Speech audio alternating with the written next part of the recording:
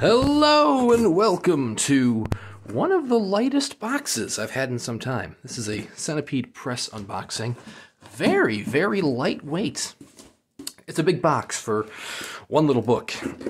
Uh, the book, if you couldn't tell, excuse me, the book, if you couldn't tell by the title of the video, is A Case of Conscience by James Ble Bleach. Bleach? Blish? I think Bleach is the name, but I don't know that I've actually heard it said aloud.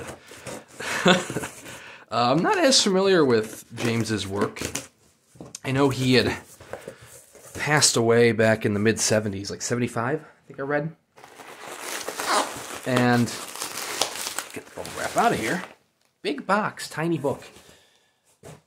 Um, I know he did novelizations of Star Trek episodes, which he made a good living on apparently in the latter years of his life. Is real tiny. So, well protected in bubble wrap like Jared's packaging usually is. Here we have A Case of Conscience by James Bleach. full wraparound artwork. This is the first in a quartet of novels. And I have number 68 to match my other Centipede titles of late, which is awesome. Thank you, Jared. Very nice. I, am a huge fan of there not being any text on the cover itself. It's always kind of delegated to the spine, case of conscience. It kind of leaves the cover unadorned and you can actually just soak in the artwork. Now, I will admit that I wasn't very familiar with Whoa! Familiar with this title. Look at that. That is some nice stamping on the front there. Just all around beautiful quality, as one would ex expect. Nice cloth binding, top edge stain.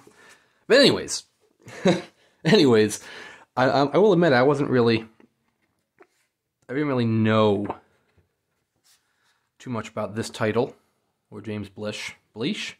I can't even say his name consistently in the video um, prior to this title, but I read it and it sounded interesting. It's about a uh, priest who's also a scientist as he goes to a land full of reptilian creatures who are governed solely by logic. And so it makes him question nice end papers as well. I'm not sure if you can get that quality in the the video. That's nice texture to it. Um, so, it, anyways, he goes to these reptilian creatures, and they are very, very logical, and makes him question his own faith and his own humanity. Uh, I know it's got introdu- it's introdu- oh my god, I can't speak today. It's introduced by Greg Bear, cover art by Pascal Casolari, who did not sign the edition. So maybe that was in part due to the pandemic. I'm not sure. I do see that he uh, he painted this in 2018 by his little jacket there. 2018. But, you know, by the time the signature sheets got around, maybe he uh, couldn't get it to sign. Uh, title page by Darrell K. Sweet. Uh, Darrell K. Sweet. Black and white interior art by Allen Koszowski. So we got some Koszowski artwork throughout. Oh, a little kind of background, little supplements that usually come in the back of Centipede titles, but in this time it's coming in the front. You can hear the pages kind of crisp with the top edge stain. Love that sound. Little kind of doodles by Allen Koszowski. This is actually, I think, my second Koszowski signature. I mean, it might be more than two, it's the second that I'm aware of. I mean, I could have forgotten them about well, the previous signature. There we go. Number 68. It's book one in the After Such Knowledge Quartet. Uh, it's limited to 300 copies, of which this is 68. It's got a facsimile signature of James Bleach, Greg Bear's little scribble, and Allen Koszowski. Uh, and I know it gives me first refusal rights for the remaining titles. And it almost sounded like the third and fourth titles are kind of novella length if I read that correctly, which is very interesting.